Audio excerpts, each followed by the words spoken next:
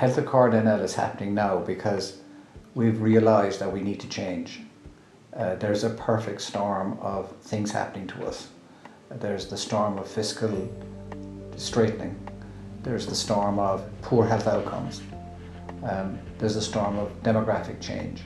It's really important to remember that our health system was designed for a time when we were a very different kind of population.